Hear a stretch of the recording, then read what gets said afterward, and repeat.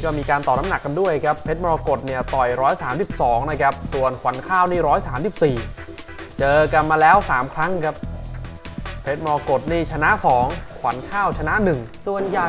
มวยรายการนี้จะเป็นการแก้มือกันครับ เป็นศึกแห่งการแก้มือเลยเอ้ยชื่อลูกพี่ยังอยู่ด้านหลังครับเสียโบ๊ทอยู่ในการดูแลของลิตเติ้ลโบ๊ทครับนัทเดชวชิระรัตนวงศ์ ฟอร์มล่าสุดของทางด้านเพชรมรกตนี่ไปโกอินเตอร์นะครับ เดินทางไปชกที่ประเทศญี่ปุ่น แล้วก็เอาชนะคะแนนเกงกิโอมิโนะมานี่ถือว่าเป็นซุปตาร์เลยครับครับของประเทศญี่ปุ่นครับ ส่วนทางด้านขวัญข้าวมรัตนบัณฑิต หรือขวัญข้าวชอราชพัสดุอีสานนะครับฟอร์มล่าสุดนี่ชกในรายการศึกมวยดีวิถีไทยครับครับแล้วก็ชนะคะแนนยอดทนทองเพชรยินดีอะคาเดมี่ครับอ่าแล้วนี่ ครับไหว้ครูสวยจริง ๆ เอาวัฒนธรรมของภาคอีสานเลยครับ มาปรับใช้ในการไหว้ครูเนี่ยครับขึ้นถอดมงคลเลยนะครับ เสียโบ๊ทวันนี้ สองปอนด์จะมีผลหรือเปล่าครับเพชรมรกตต่อน้ำหนักครับ แต่รูปร่างไม่ได้ต่อเลยครับ สูงยาวกว่าครับ อ่าไม่ต้องดูกันนานครับคู่นี้ เพราะว่าจำกลิ่นตัวกันได้เจอกันมา3หนแล้วครับ ไฟท์ที่ 4 ครับ โอ้โหแหกกระตุกคอมาเสียบเลยครับ นี่ถือว่าเป็นจุดขายจุดแข็งครับ สูงยาวแบบนี้ มวยเข่าล้วนครับๆส่วนขวัญข้าวนี่เป็นประเภทฝีมือครับ หลักเหลี่ยมดี IQ เหนือเลยครับ มีหมัดมีศอกด้วยนะครับ นี่แหละครับ ไม่ยอมให้เพชรมรกตนี่เข้ามา จับคอคล้องคอง่ายๆครับ ใช่ครับ อยู่ในการดูแลของอาจารย์แชมป์สิทธิ์เพิ่มนะครับที่แชมป์สิทธิ์เพิ่มมีดูแลอย่างดี ไฟล์นี้ฟิตซ้อมค่ายมวยแสงมรกตครูปรามครูซ้อมนี่ก็หายห่วงครับครับได้โอ้โหเสียบซ้ายเข้าไปครับแหม่ใหญ่จริงๆนะโอ้โหสูงยาวจริงๆครับนักมวยคนนี้ครับเอาครับขึ้นคอได้ขวัญข้าวแต่ยังตีไม่ถนัดโอ้โหกระดูก พอตีไม่ถนัดเพชรมรกตแกนี่เน้นๆเลยครับ ส่วนสูงเนี่ย180เซนติเมตรครับสำหรับเพชรมรกตขวัญข้ามนี่173เอาเริ่มจะเตะได้เหมือนกันครับ ถ้าอยู่ห่างนี่ก็เป็นโอกาสของขวัญข้าวแหละครับ ยังมีจังหวะปวดแข้งเน้นๆครับแต่ถ้าอยู่ใกล้ๆนี่โอ้โหเพชรมรกตนี่แกเสียบไม่ยั้งเลยครับ อ้าวขวาอีกที โดนแล้วครับเตะหลุดโดนเลยครับแบบนี้เขาเรียกว่าฟรีคิกครับเอาวงในครับเพชรมรกตยังตีได้กรรมการอนันต์เมฆสวรรค์นะครับผู้ห้ามมีแยกออกมา เจอกันกี่รอบก็สนุกทุกรอบครับสำหรับคู่นี้อะเสียบซ้ายคาไว้ในวงในวันนี้ขวัญข้าวยังทำอะไรไม่ค่อยถนัดนะครับ ต้องมาเน้นเกมถนัดของตัวเองครับขวัญข้าว นี่ครับ อยู่นอกแล้วก็ปวดเน้นๆครับ ต้องอย่าให้เพชรมรกตที่จับได้ครับครับ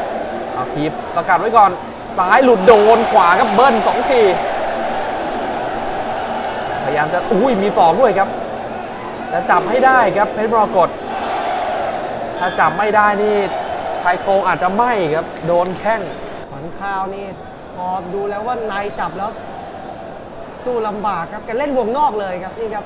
อาจารย์แชมป์สิทธิ์เพิ่มครับใส่แว่นด้านล่างเนี่ยเทรนอยู่ บอกว่าให้ย้ำไปที่ชายโครง หมด 3 ยกนะครับ ทางด้านเพชรมรกตนี่ได้เปรียบประมาณ 2 ช่วงตัวครับ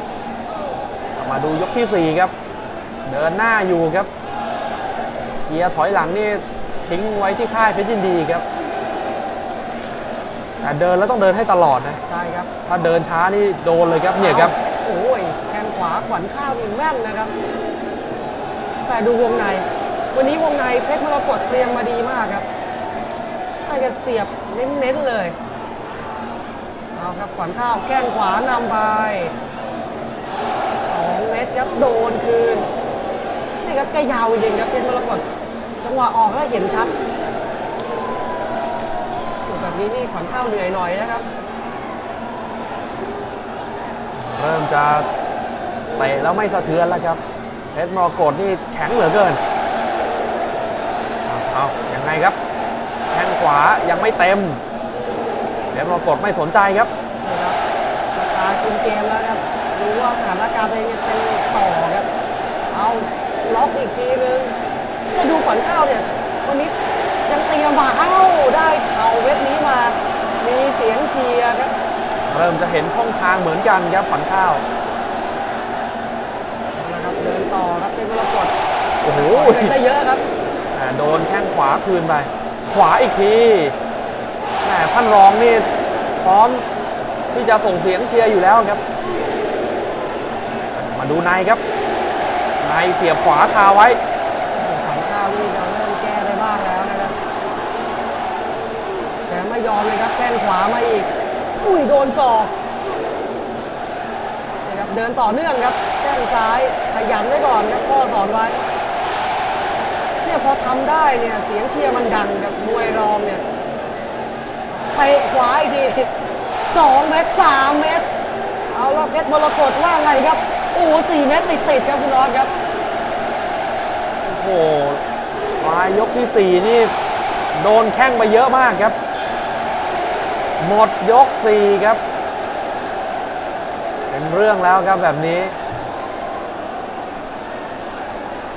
อะกลางยกเนี่ยทางด้านเพชรมรกตได้เปรียบประมาณ 10 ช่วงตัวไปแล้วครับแต่ช่วงท้ายนี่รับเยอะไปหน่อยชิงดำครับ ต้องเป็นเพชรมรกตนี่เปิดเกมเดินบ้างครับแหม่ปลายยกนี่แกไปรับอย่างเดียว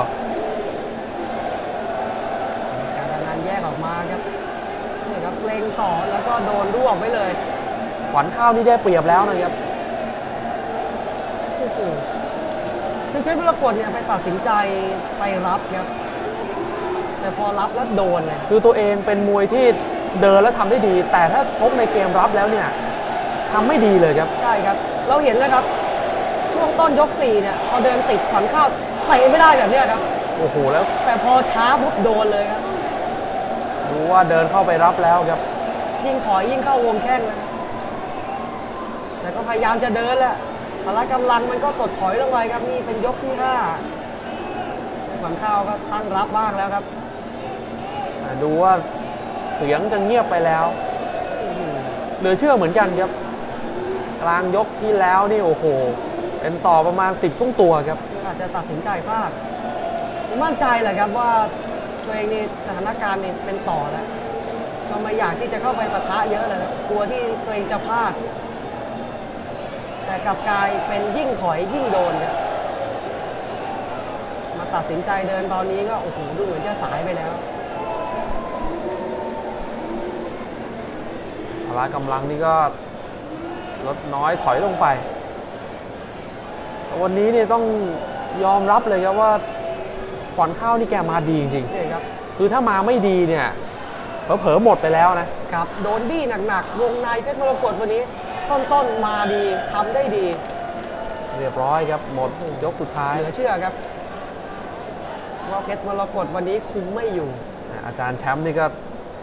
ขึ้นไปยิ้มน้อยยิ้มใหญ่เลยครับสิทธิ์รักพลิกเกมได้แบบนี้ครับกรรมการอนันต์เมฆสวรรค์ครับ ชูมือให้กับทางด้านขวัญข้าวมรัตนบัณฑิตช นะคะแนนเพชรมรกตวอสักดิ์ประภัยไปแบบสนุกเลยครับ